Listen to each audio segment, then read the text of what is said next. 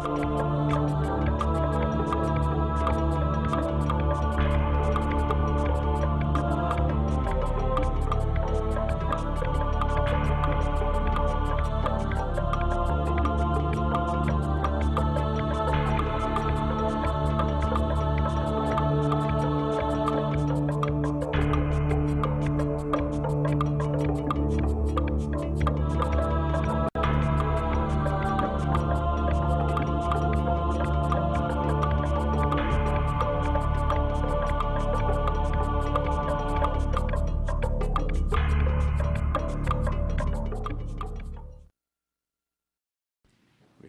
this evening about the record of the rocks. As someone told me, for a fellow who has rocks in his head, this is a very appropriate subject. Uh, I plead guilty to that. I enjoy talking about the rocks. They do provide a challenge, at least in terms of the way they're typically presented. If you watch the education channels, public TV, uh, you look in the earth science textbooks, you'll see evidence from the rocks representing that which flatly contradicts what we read in the Bible. When we look at the rocks, we're talking about not just all rocks, but the record that we have reference to involves the sedimentary rocks. That's rocks laid down by water. And if you have studied earth science, know just a little bit about geology, you understand that there is an average of about a mile and a half of sedimentary rock that covers the continents. That's rocks laid down by water. Now, in those rocks, there are billions and billions of dead things that are fossils. Now, when you have billions and billions of dead things in rocks laid down by water all over the world, um, I think you've got a pretty strong argument for catastrophic judgment. But of course, the evolutionist tells us this was accomplished by a slow, gradual buildup over millions of years. And as we saw last night, I think it's accomplished by a rapid year long series of catastrophes, that it could not be slow, and the evidence for slow um, is not there. But the evolutionary representation of this record of the rocks looks like this. This is in all the biology textbooks, all the earth science textbooks. And we're told that as you go further down in the rocks, you find these simple animals, and as you come up near the top, they get more complex, and then the modern animals near the top, which shows an evolutionary progression. And the record of the rocks has recorded, like a tape recorder, the evolution of life through time. That's their interpretation of what we're seeing. The biggest problem with this representation is rather obvious, and that is that you can't go out and look in the rocks and find it anywhere. It exists in the textbooks, but it does not exist anywhere on the face of the earth that is, in the complete form that you see in the textbooks. Now, if that sounds like a rather brash statement, notice the, uh, the quote from Leet and Judson, one of the typical textbooks used as a geology text in our universities. Because we cannot find sedimentary rock representing all of Earth time neatly in one convenient area, we must piece together the rock sequence from locality to locality. This process of tying one rock sequence in one place to another in some other place is known as correlation.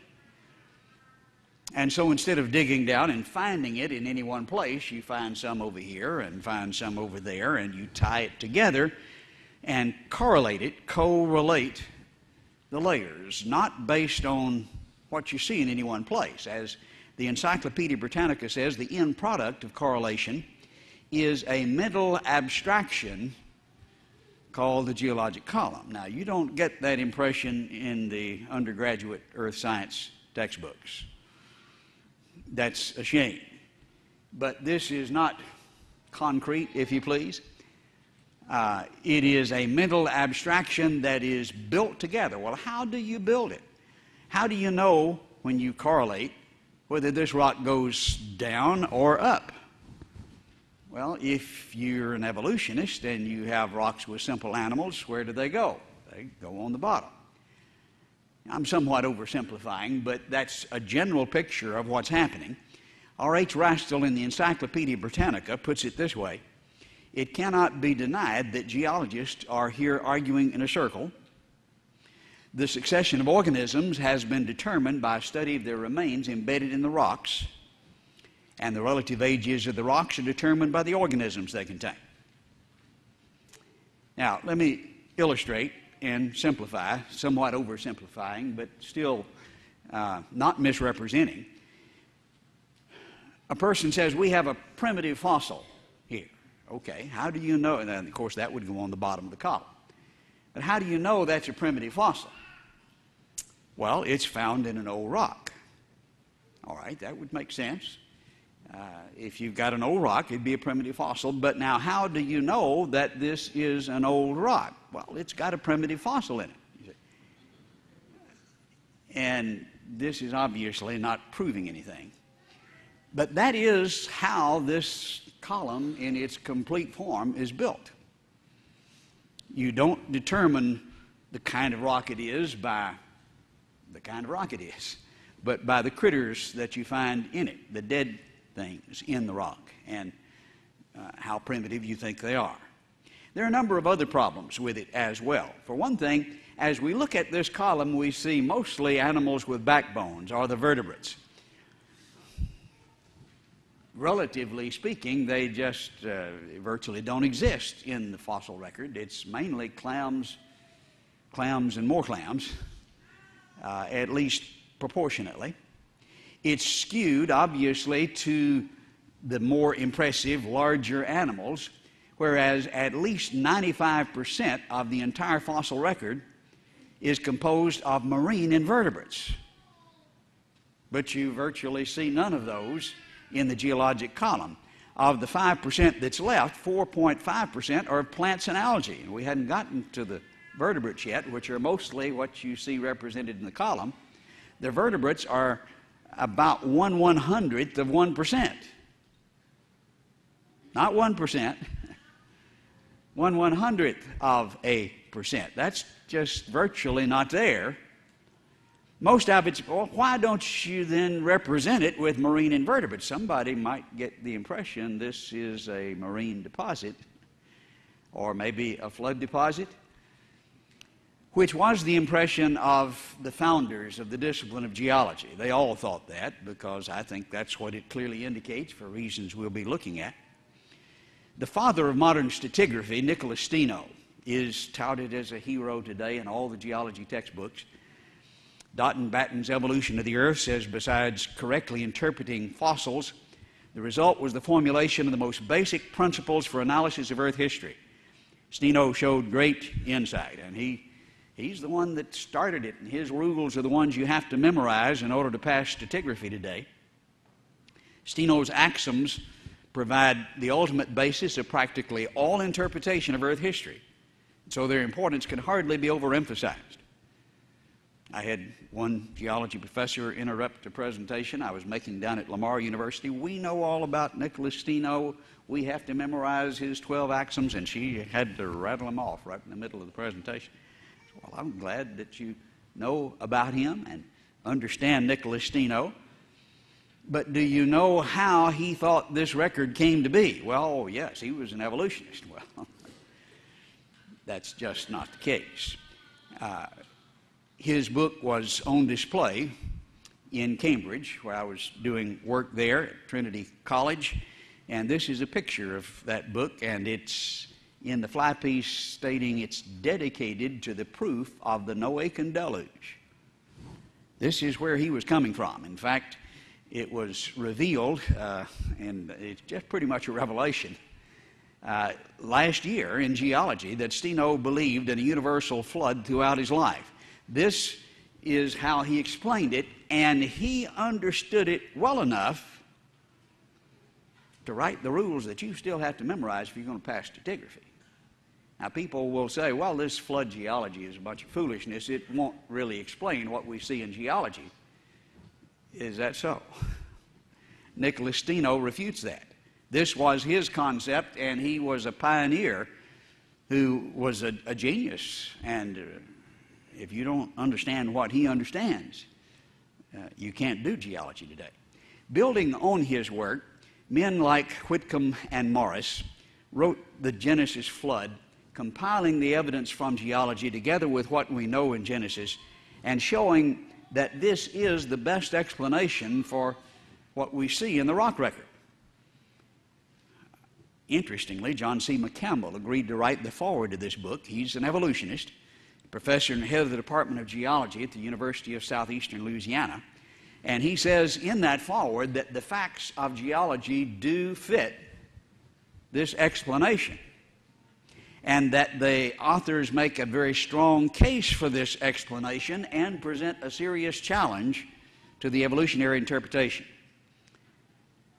Now, he didn't say their view fits, our view doesn't, but he came pretty close, even though he's an evolutionist. It does fit. And so when people say, well, it's just no way that a flood can explain what we see in geology, well, that, they just don't know what they're talking about. But if you had a flood, wouldn't it just mix everything up? Not necessarily. You have floods that bury things basically where they are, transporting sometimes, but the general rule is things get buried where they live, and not everything lives at the same place. Things that live at the bottom of the ocean would be buried in different places from things that live up here in Texas.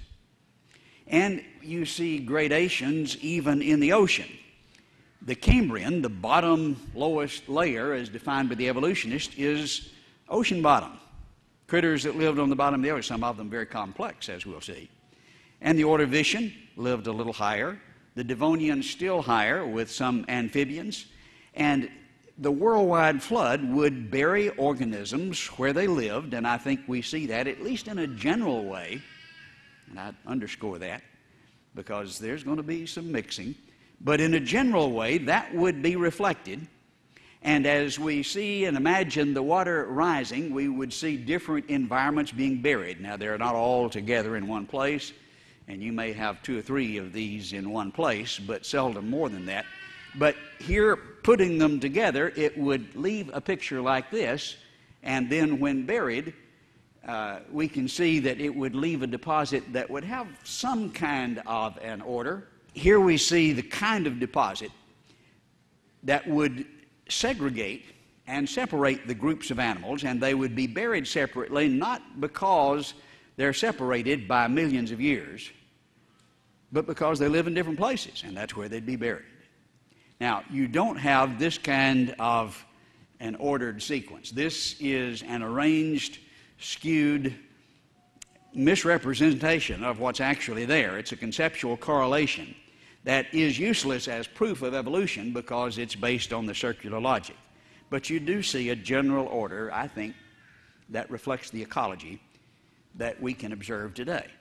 I do think this representation, however, is useful as a model, as a representation of what ought to be if evolution is true.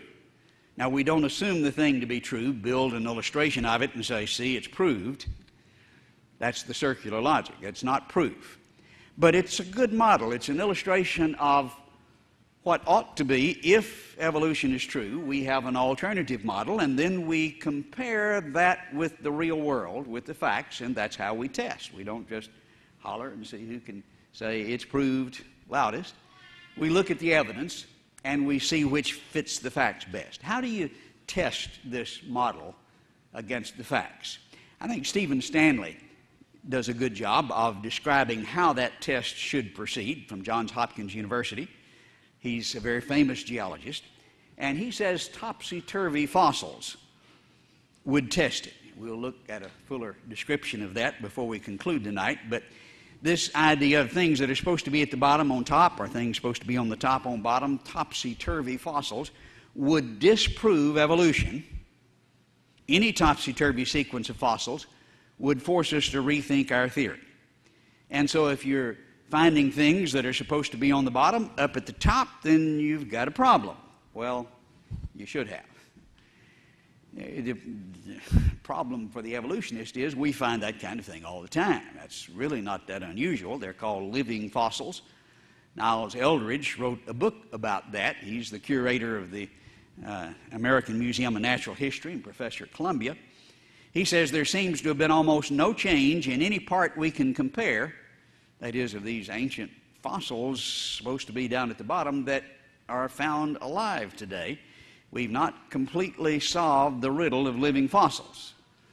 That would be a topsy turvy fossil, but there's so many and it's so common they really just don't pay a whole lot of attention to it. They really want the other kind of contradiction, as we'll see. But to give an illustration of what he's talking about with living fossils, maybe the most famous one is the coelacanth. Uh, beautiful fossil here of a rather strange looking fish, but one that we find rather commonly in the fossil record. Described here by Keith Thomson, who's president of the Academy of Natural Sciences, as a living fossil. Uh, he says in his book, a fish thought to be extinct for 70 million years which is about the time the dinosaurs have been extinct. The fish was a coelacanth, an animal that thrived concurrently with the dinosaurs. But from the point where they're supposed to have gone extinct, all the way up the column, you find no coelacanths and virtually no dinosaurs. They look quite like the what? the modern forms, yes, we have found them. Now, he says we have no fossil coelacanths younger than the late Cretaceous. That's where the dinosaurs are supposed to have gone extinct. And so we've got plenty of them up to that point. From that point forward, nothing. But so far, we've caught about 600 of them out in the ocean since 1937 when we found the first one. But they were extinct at the same time, well, because we don't have them in the column if they stop in the column and you don't have them above, I think that just means they didn't live at these places. They lived at these places. And the fact you don't find them up here doesn't mean that they're not still around somewhere. Um, that's the topsy fossils, the thing supposed to be at the bottom that you find at the top. Alan Turner refers to that, and especially the implications regarding extinction uh, just, uh, what, in September of this year. Paleontologists really don't know the answer to that. You think some of, you, some of these quotations are maybe from five or six years ago, and you're like, well, surely they've learned something since then. Well, this is pretty much up to date, I think, September 6, 2007. We don't know the answer to that. Why some animals survive extinction, others don't, is one of the most difficult questions in paleontology, and why you see this thing that's obviously extinct according to the column, but swimming around uh, they don't know. It does falsify the idea that because you don't find it above a certain point, it's extinct. And you have literally hundreds of examples of that. But the thing that really is a test in the mind of the evolutionist is the other kind of contradiction. What's supposed to be up found down, or what we'll call the turvy fossils. Because if the, the mammals had not got there yet, and you find them down here at the bottom, then obviously you got a real, real challenge. Richard Dawkins describes the implications. Uh, we've spoken about him several times this week. We should be very surprised, for example, to find humans appearing in the record before mammals are supposed to have evolved. If a single well verified mammal skull were to turn up in 500 million year old rocks, our whole modern theory of evolution would be utterly destroyed. So he's got his chin out pretty far here. You, don't, you can't find this. And he's rather confident because if you do find it, then he's got answers for that too. For example, we have found that kind of thing rather commonly. One very obvious and dramatic example is near La Sal, Utah, where perfectly modern human skeletons replaced with malachite are found in a layer that's also found at Dinosaur National Monument, one that is known for its dinosaurs in the Dakota sandstone.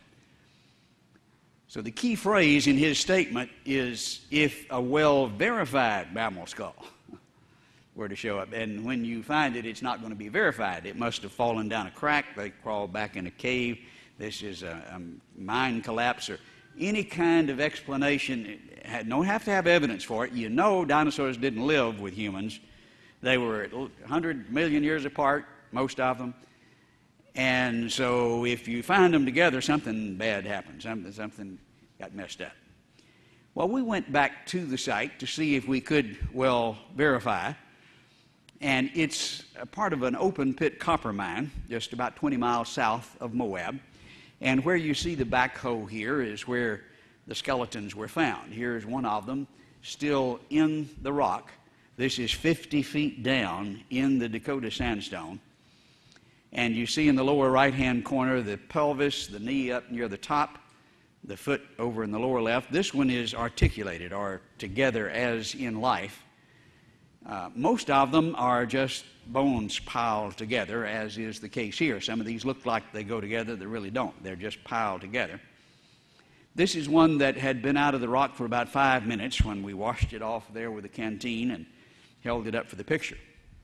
It's replaced with malachite, which obviously shows it's not a recent burial. It contains no collagen. That typically takes about a thousand years uh, to dissipate. And so this is an excellent turvy fossil. I think there's as much verification as you could ever find. We talked to the fellow who uh, actually uncovered it with the bulldozer. Ironically, his father drove the bulldozer at this spot numbers of years ago. This is Dave Fuller, uh, and he's pointing to the spot where this was found. Says there were no broken layers, there were no caves, uh, no mine. Looking at a side view we see the mining operation of the 30s where his father drove the bulldozer and they hit rocks so hard that they were tearing up the bulldozers. And so it stopped and went out of business and didn't start again until the 70s. And then they went on down to this level where the skeletons were found. Again, a diagram here shows the mining operation of the 30s and then the 70s. Here, the road cut was done in 1930, and prior to the road cut, this was completely continuous. The skeletons were found here, again, 50 feet down in the Dakota sandstone. There is zero evidence uh, for the intrusional burial of these skeletons. In fact, just overwhelming evidence against it. If they're before 1930, this is the way it looked. And remember then what Dawkins says if you can well verify it, his conclusion is evolution would be utterly destroyed. I think that's exactly what's happened. But anytime you find bones, they're going to be intrusionally buried. That's just the assumption. But he goes on in this discussion of what would test and uh, falsify evolution, saying, ironically, it's also the reason why creationists are so keen on the fake human footprints which were carved during the Depression to fool tourists in the dinosaur beds of Texas. So he's heard about our work down at Glen Rose all the way from Oxford. He refuses to come look, but he's sure that they're fake, but understands that if they were real, this would falsify and utterly destroy. And of course, one of the main reasons that, uh, for the interest is that you can't intrusionally bury footprints, can you?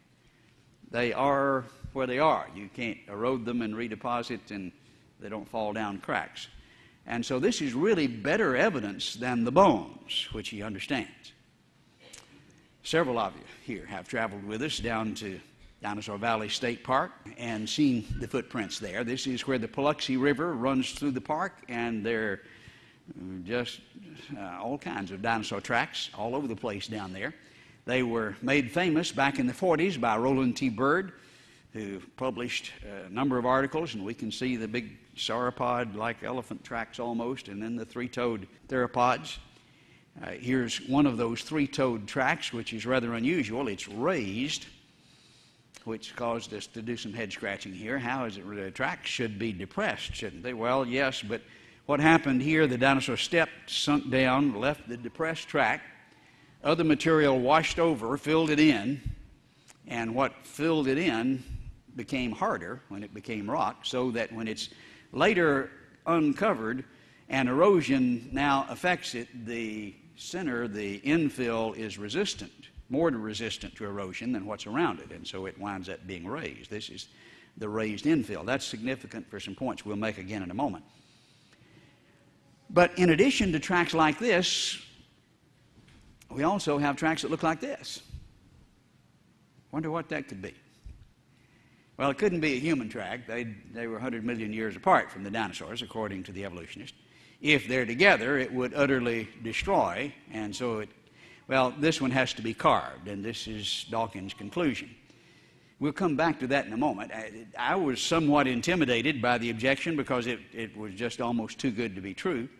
And so we looked around for some that weren't quite so good and found some as well. Here's one in the lower right hand corner that was identified by the Dallas Crime Lab as a human footprint. Got the same criteria, they identify footprints at a crime scene, along with dinosaur tracks that had just been excavated. And some of the tracks that we found were very, very human like.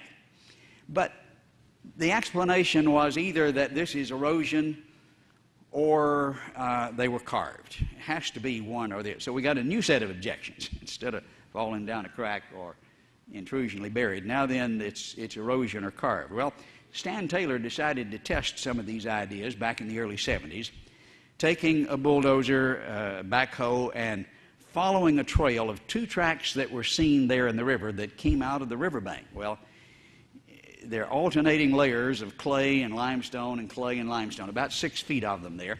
And if he removes that and these tracks continue back up under the bank, what would that say about the idea they'd been carved? That'd pretty well rip it, wouldn't it?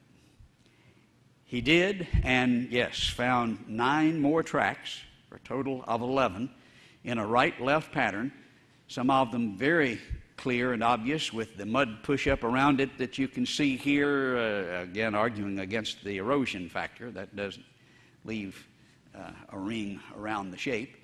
And so a lot of people got excited about this. It looked like very good evidence. And then Glenn Kuban came up with an explanation, and he got Humanist of the Year for this explanation. He says, Are these kind of duck looking tracks, and there are several of those in the area, erode to look like the one on the right, but the elongate tracks, like you see here at B, erode over a period of time to finally wind up looking like the one down at the lower right hand corner. And that's kind of human like. And so these are just eroded dinosaur tracks.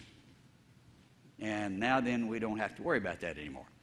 However, when you go back and look at these tracks, here are some of the dinosaur tracks with that uh, infill that was harder. And what happens with erosion here? It gets sharper and clearer because the infill is harder. And when you look at a side view, the three dimensional aspect of this shows the center being raised, and that's not going to erode to look like a human track, is it? It looks more like a dinosaur track with more erosion. And some of the casts that were made by Stan Taylor were so detailed. Does this look like uh, an eroded dinosaur track?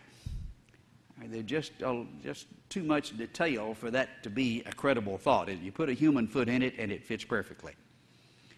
The one that really persuaded me, and I was trying to play the devil's advocate, is there some way that this could be explained? Was this track, and you have to, and this we extended that 11 series, 11 track series to 14. This was one in the extension. You have to look at this a minute to really see it. As we highlight this area, you can see the dinosaur portion of it. It's about 25 inches long, but look what is in the middle of it with all five toes and instep and heel.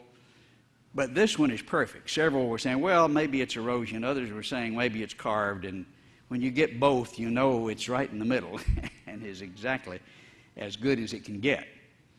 We made a presentation of this at a national science meeting up in Tennessee. Glenn Kuban was there, who won Humanist of the Year for explaining these away. He was on the plane the next morning and in the river that afternoon with a long iron pole.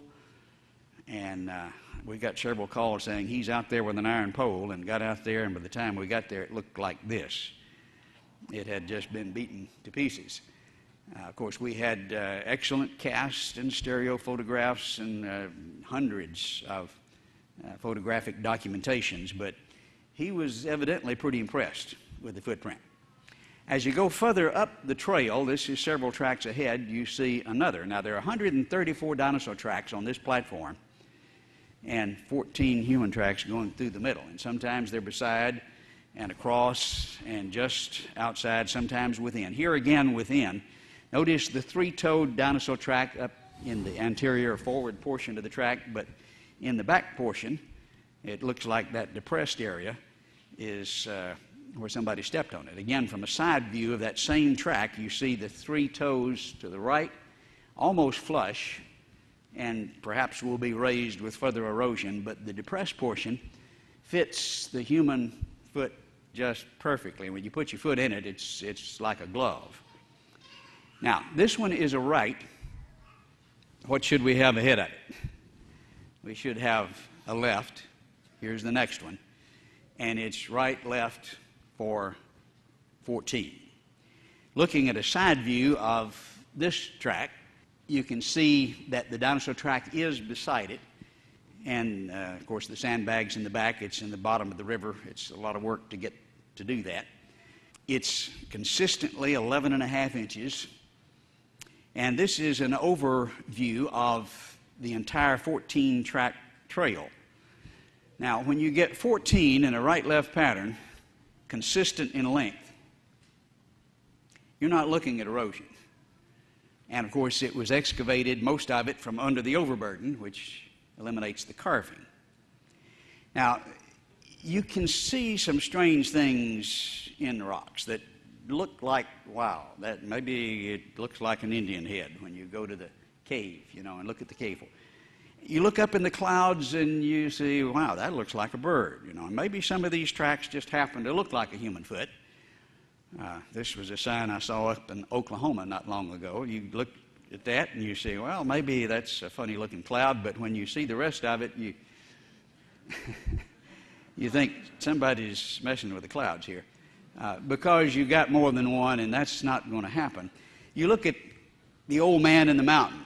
Uh, that's maybe erosion, right? But how do you know that this is not erosion? Well, if you see four old men in the mountain, you got, got a pretty good idea, don't you? Well, here you've got 14 in a right left pattern that says, hey, this, I'm sorry, this, this is not erosion and it's not carved, this becomes the perfect turvy fossil. We did the measurements and the analysis. All of them look at least like a general human footprint, consistent in length, more so than the dinosaur tracks, some of which are still being revealed. Seven of them have toes. Of course, we've shown you the most dramatic ones. That's very unusual with fossil footprints. Mary Leakey's tracks over in Africa, uh, several spreads in National Geographic, none of them have toe. Well, you can see the great toe in some, but none individual toes. Uh, you can distinguish right from left in 12 of the 14. Two of them are just kind of oblong, and when Glenn Kuban lectures on this subject, guess which two he shows you? We did a double blind test at Kansas State University with the psych department showing pictures First, what are these? And uh, 80, well, 97% said they're human footprints. Uh, then we got real rough on the college students. Tell us if they're rights or lefts. and uh, 87% got exactly what we predicted. Uh, 12 out of 14, that's just about precisely what we expected. And none of them were consistently different, so that you can say it is consistently rights and lefts where they ought to be. Now, this is the way you do science. Dawkins sits behind his desk at Oxford and says, No way, it's impossible. And we get out and do the work. And I think you can see the difference. This, I think, is the perfect turvy fossil. You can't fall down a crack, intrusionally bury them. They can't be carved. They were excavated from under the overburden. It's not erosion. You got 14 in a right left pattern. And I just really enjoy presenting this on the college campus and then sitting back and saying, okay, now, what's your explanation? I was at a university up in Tennessee uh, several years ago speaking to a group of about 50 senior geology students, and uh, they turned around after I finished to the head of the department. Okay, what, what do you have to say? And he said, Of course, we don't know that there weren't dinosaurs back there with human feet.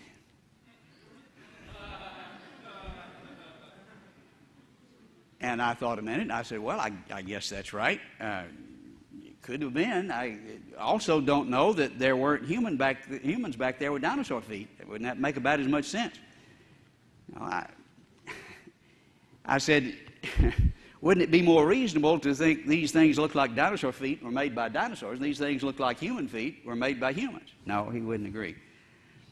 And I said, well, if they were made by humans, would they look any different? And he just got up and left. And uh, about half of that, well, a significant portion of that group became creationist. Um, but dinosaurs with human feet uh, is, is their explanation. Uh, Dr. Chuck Finsley, who was curator of the Dallas Museum of Natural History for some 30 years, recently retired, came down to Glen Rose and looked at it. He wanted to display some of the dinosaurs we had excavated. And we made him look at the tracks.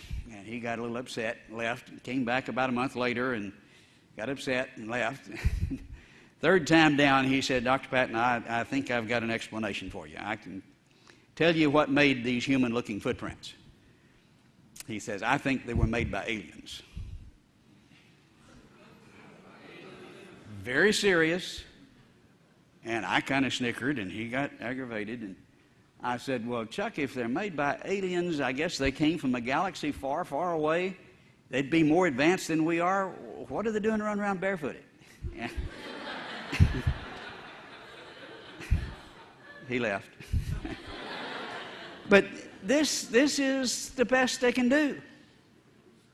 I think you just ought to take the evidence for what it is instead of desperately trying to explain it away. It kind of reminds me of the Far Side cartoon by Gary Larson. Here's Professor Farrington and his controversial theory that dinosaurs were actually the discarded chicken bones of giant alien picnickers. that sounds pretty far out to me. if you want to draw a cartoon, uh, I think the reality would be more like this in the throes of a catastrophic flood. As they were trying to escape, they were running, and uh, these were the ones that missed the boat.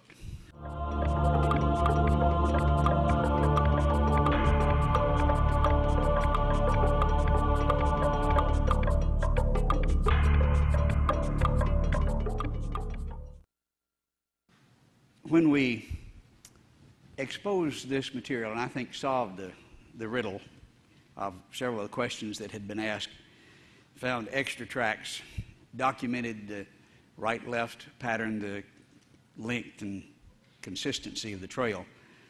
Uh, many were pressed with coming up with an answer. What do you say? Well, the typical thing they say, this, I mean, just predict it. well, you need more evidence. I mean, that, you can always say that. You, you need more evidence, and they do. And so in 2000, with the drought in this area, we noticed that this trail that's coming across what's called the Patton, uh, well, the trail that's going across it here, we could see more of it because the water had gone down. And so we decided to pump the river dry. And so we got quite a few pumps and uh, 30, 40 people down there pretty regularly for over a three month period. And uh, with a lot of work, uh, a lot of shovels, a lot of movement of dirt, and watering a lot of farmers' fields on either side of the river, uh, we pumped it dry and followed that trail and exposed the longest consecutive dinosaur trail on the American continent. Uh, 154 dinosaur tracks, over 500 feet long, and they're not only the, the longest trail, but they may be the clearest and most spectacular trail. The sharp detail is just, just awesome. Now, it really infuriated the fellow at the state park who had gotten his PhD studying these tracks that a creationist made such a find right under his nose. But we know what dinosaur tracks look like and excavated the longest trail on the American continent. Only one other in the world longer in Turkmenistan.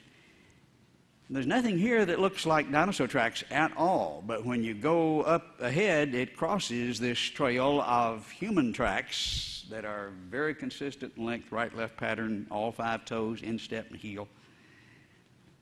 Then we presented that, and guess what they said then? Well, you need more evidence. and okay, let's try the platform up ahead this time, and we moved ahead And uh, this platform, we had to go down three or four layers till we got to the print layer. And sure enough, there's about 100 dinosaur tracks on this platform with uh, 15 human tracks going right through the middle of it.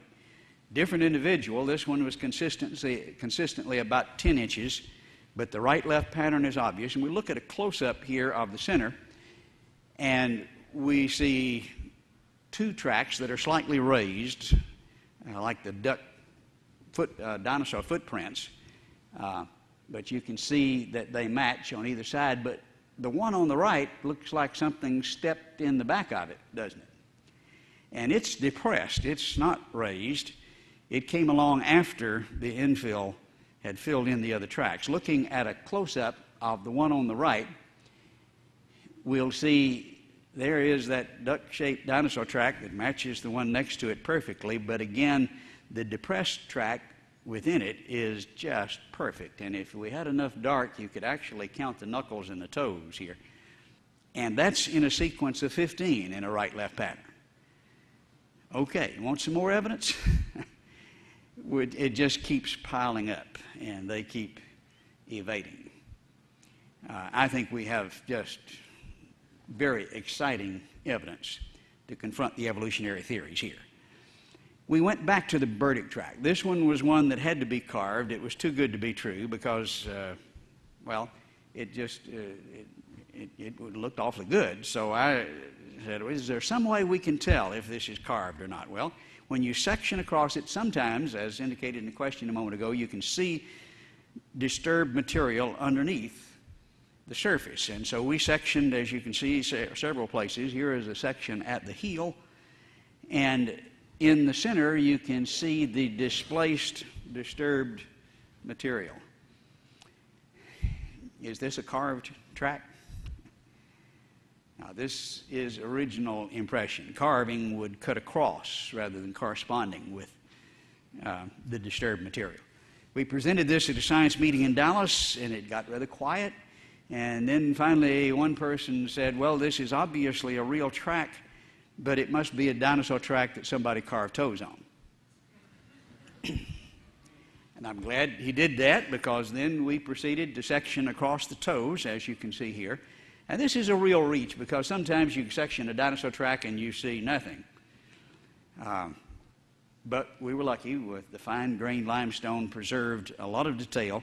Here is a section across the toes, and especially there at the great toe, you can see the following contours rather than cutting across them.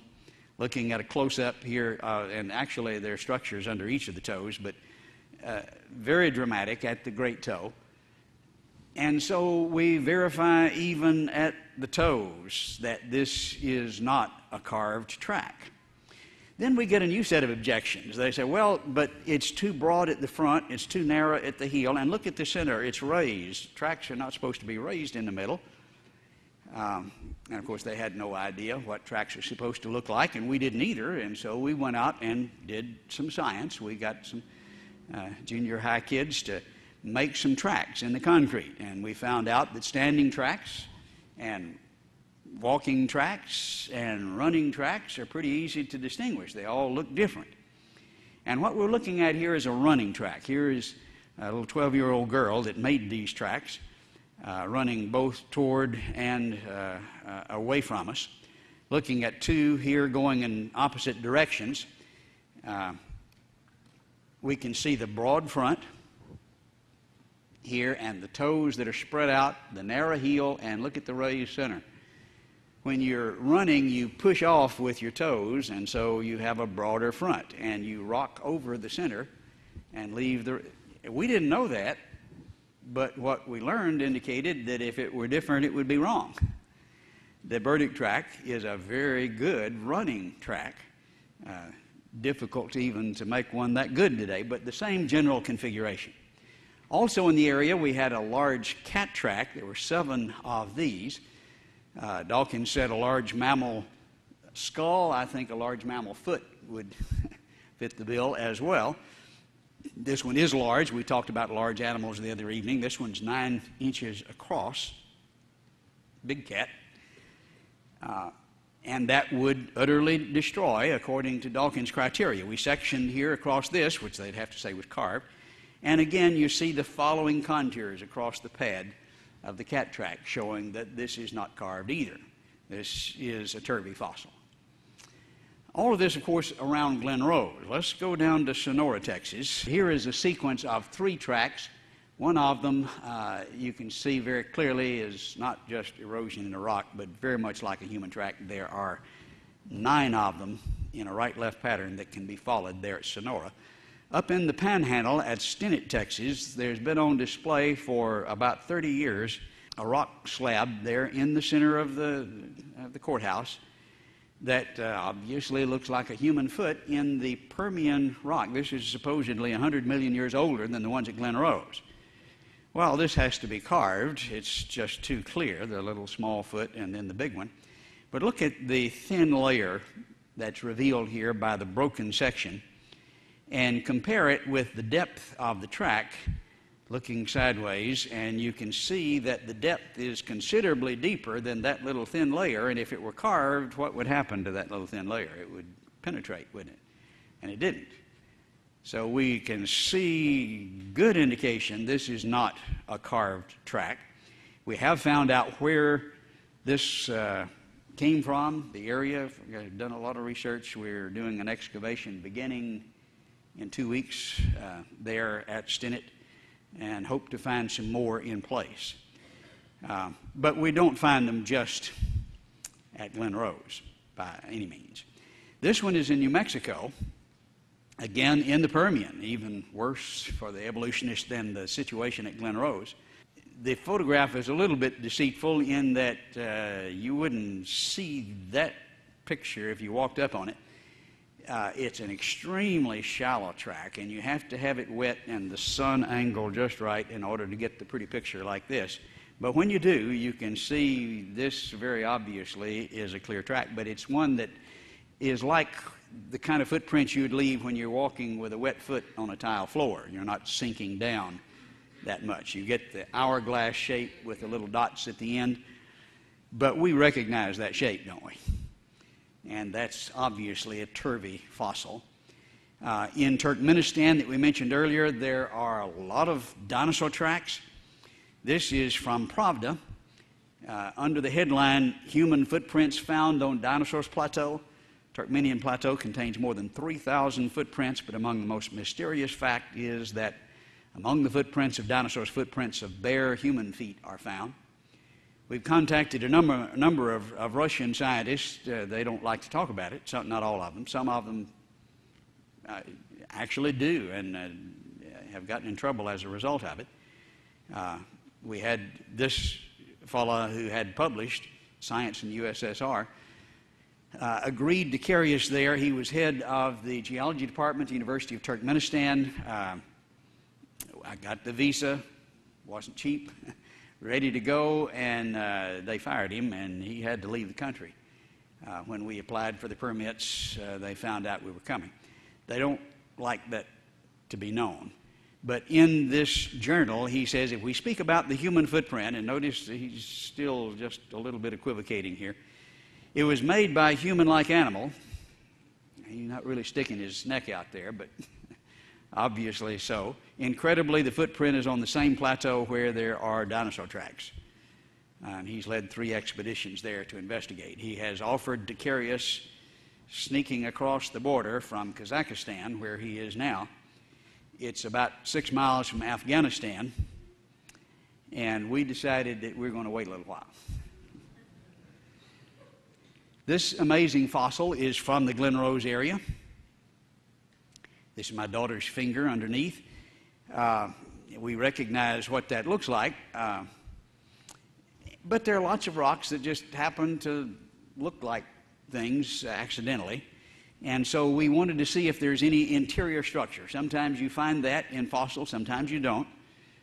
And so we sectioned here at a severe angle to get more information to see if there's any interior structure there. And sure enough, right, at the intersection, right where it's supposed to be, we see the bone material in the center of this fossil finger.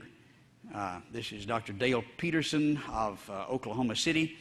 Uh, the last time I heard him lecture on this, it was an hour and a half lecture, and you don't want to know all about that. But he did the CAT scans and traced ligaments from one end to the other, and he has absolutely no doubt, as uh, a professional anatomist, that this is a human finger.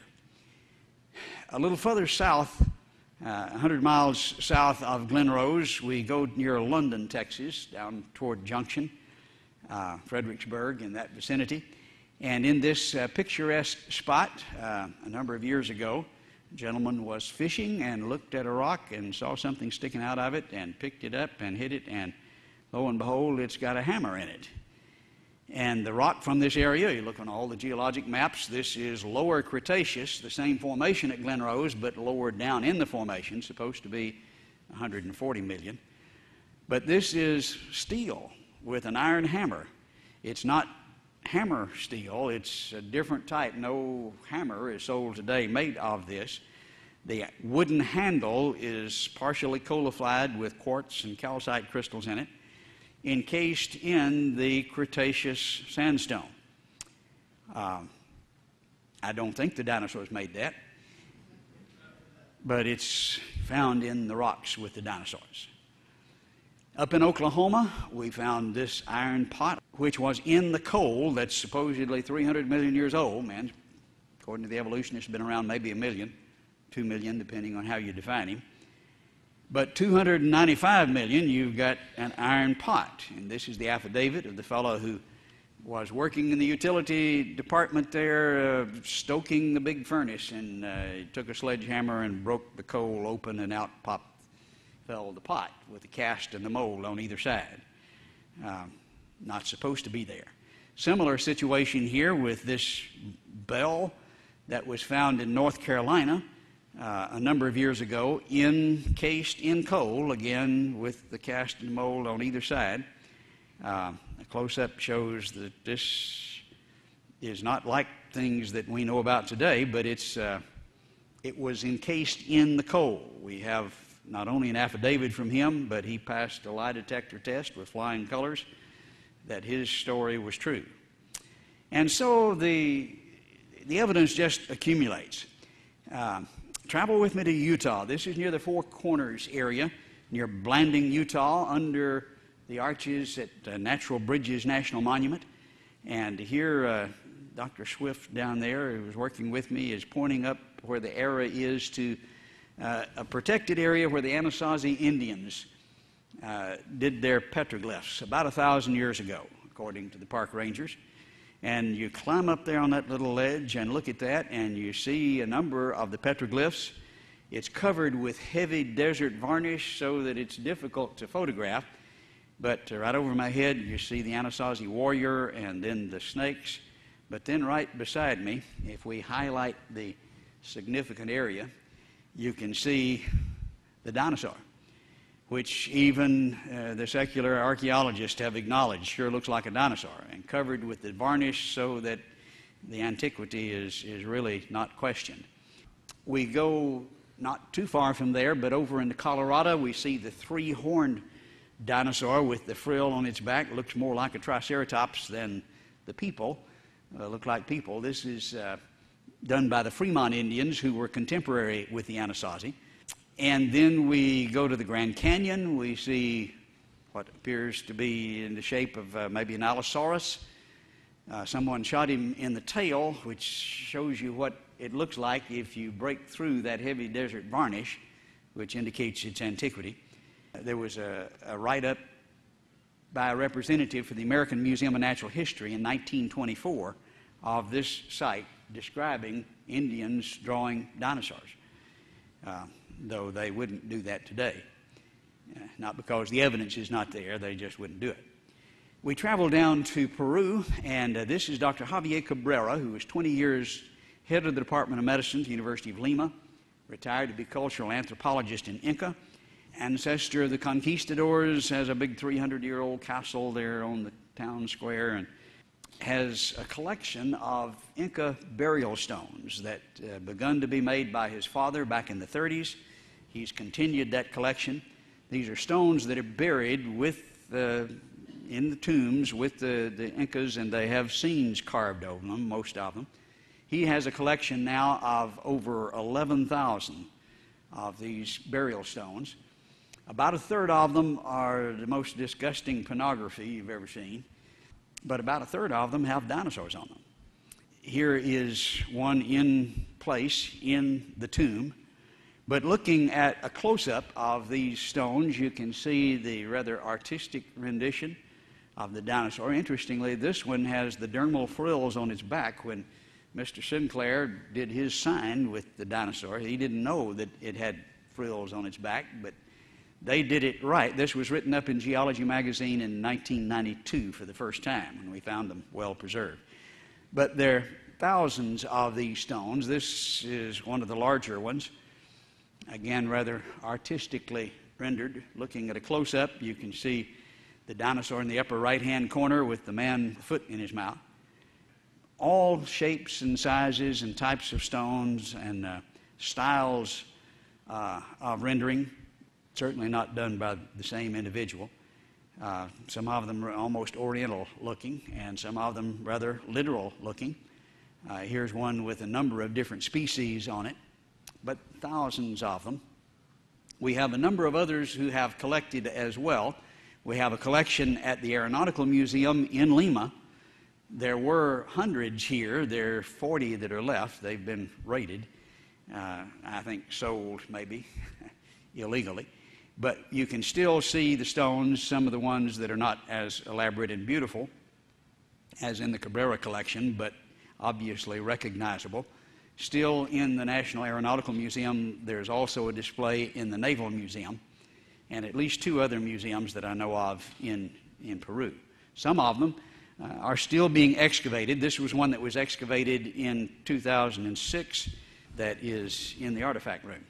It has two dinosaurs on it slightly different type stone from Cabrera's, raised instead of incised, but still the same general picture. Also in the tombs, you find burial cloths with the same kind of motif there. Uh, obviously, uh, the big claws and the teeth representing dinosaurs. You see it on their pottery.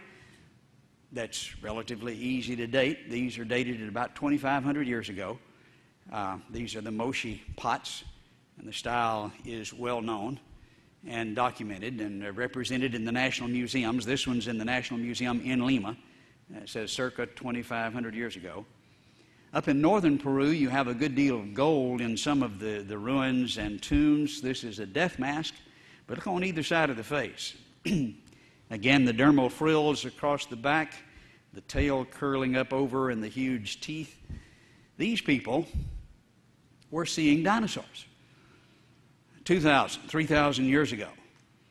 Now, we're told that we've known what dinosaurs looked like for maybe, well, the first ones found in 1820, we didn't know what they looked like very well. The restorations were silly. Uh, after the turn of the century, early 1900s, we got a fair idea, and really not an excellent idea. And, well, 1992, we learned the Brontosaurus type had frills on its back. Uh, these people didn't show a gradation in learning. They got it right, right from the start. Likewise, in Mexico, we've made a number of trips there in central highlands near Acámbaro in the city, uh, state of Guanajuato. Dr. Swift and I have been down there a number of times investigating. It took that many times to get through all the bureaucracy. When we got there, they were being hidden in the back of the police department. But it was a collection made by uh, Waldemar Julsrud back in the early 1900s of some 30,000 ceramic figurines, about 10% of which are of dinosaurs, but a wide range of animals and creatures. Some of the Brontosaurus type were standing up. We didn't know that until recently. Bakker's book, Dinosaur Heresies, published in 86, was really the first one who suggested that. And then, of course, Spielberg convinced us all they stood up. But this is exactly the way they're rendered by uh, the artist, and these date to well before the time of Christ uh, from several sources. Uh, again, there are thousands of them, and the styles indicate far more than one artist. Uh, one of the professors from the University of Texas at Arlington who is an art professor, said there were at least a hundred different artists represented in the collection. Uh, would be his estimate. This is my wife's favorite. Uh, obviously, if you've got one that looks like a dinosaur, a man did it, but sewing them together is interesting. Man and dinosaur obviously live together. The, you pick up any of the dinosaur books today, and how does it start out? Millions and millions of years ago. And then the second paragraph says, No man ever saw a dinosaur. And that's just like you can't write a dinosaur book unless you start that way. It ain't so. Year before last, we traveled to Cambodia following evidence that had been forwarded to us by one of the tour guides there who had seen our website. And we had done some research and confirmed a good bit of what he was telling us. In the upper part of Cambodia, we see the ancient Khmer Empire had built just spectacular temples, maybe the largest and most beautiful in the world. And one of the greatest monument builders was Jayavarman VII. He's almost idolized. This is a picture that I took there in Phnom Penh uh, of the Buddha like pose. He began to rule in 1181 and built Pram and uh, dedicated it in 1186. This was dedicated to his mother. It was a Buddhist monastery. And so we know who and when and all the specifics. Well, on the stone in this temple, a very beautiful, picturesque place, you see carvings, and they're stone carvings that cover just about every square inch of it. But just inside the front entrance, in the corner here that the arrow points to, you can see a series of animals from the jungle. And notice in the series there is a perfect stegosaurus in a temple from over 800 years ago. And we're supposed to have known what dinosaurs looked like for about 150, and then they've been gone 65 million. I believe there's something wrong with that story. I don't want any comments about two fossils here, or two dinosaurs. They're just one. But it is more proof of the co occurrence